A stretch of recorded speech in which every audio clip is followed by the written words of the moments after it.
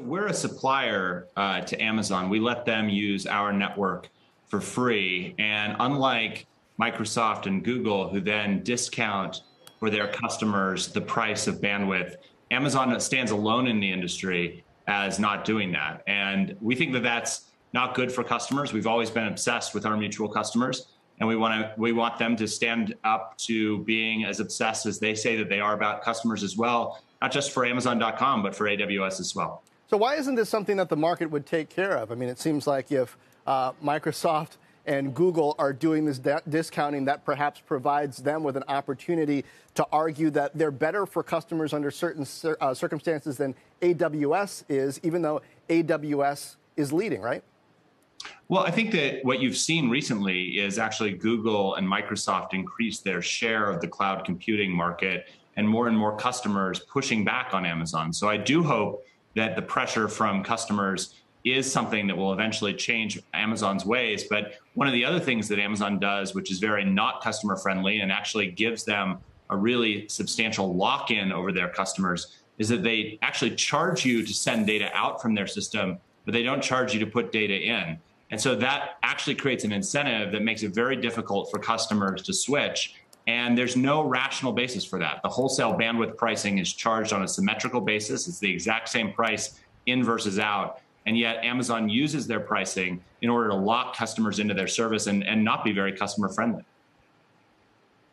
Right, that Hotel California analogy I think you referred to in the blog post. Matthew, this isn't the first time, though, that you have called out Amazon.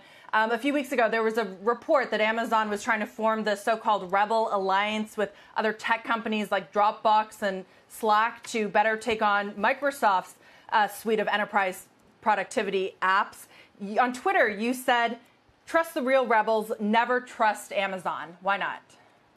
You know, I think that w- once again, Amazon in their cloud computing products has really designed their system in order to make it something where you put your data in, but then it is incredibly expensive to take it out.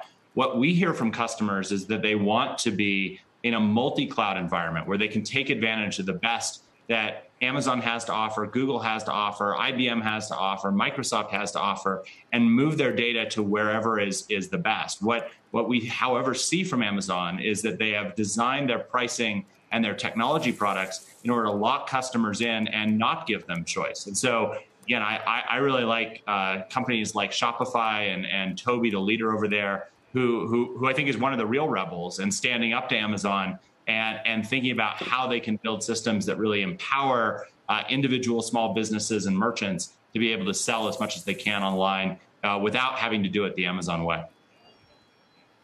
Right, and trust or lack of, of, it has been a theme in a number of their business. You identify AWS and perhaps the productivity suite, but even with their merchants on the e-commerce platform, there is this growing worry that if you hand over your data to Amazon, it could turn around and perhaps use it against you, right? Because they're going into so many different businesses. Is that also part of it? Is that a concern that you think uh, companies need to be aware of when working with Amazon or doing business with them?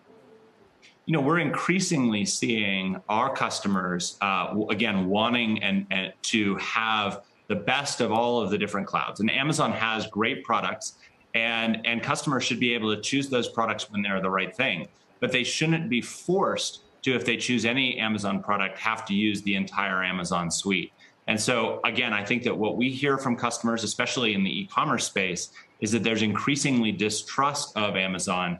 And, and again, Amazon on a day, almost daily basis seems to go into a new line of business. So while it's e commerce today, it might be banking or healthcare tomorrow. Uh, sounds like a line we were hearing about Microsoft 20 years ago that, that people are saying less now, though I guess there are a lot of companies going into multiple lines of business. Give me your perspective Matthew, as we head deeper into this earnings season, on how business customers are spending on tech in the face of the Delta variant. Uh, I, I, can imagine that some might be pulling back because of the uncertainty, but some might be leaning in uh, because technology gives them some optionality. What are you seeing? Sure. So, without talking about this quarter, uh, for previous quarters, uh, what we saw at the very beginning of the pandemic was that customers were looking for ways to be able to ensure that they could keep the lights on. It was an incredibly scary time a year ago for IT organizations around the world. At the beginning of this year in Q1, as we talked about last quarter, um, we were we, we saw that IT organizations were starting to pull their heads out of the sand and say, "Listen, we've we've lived through this. We never want to go through that again." And they were transitioning their spend from on-premise hardware, uh, which just doesn't work in an increasingly uh, agile and remote workforce world to services like Cloudflare, where they can make sure that they support their customers, whether they're working from the office or working from home.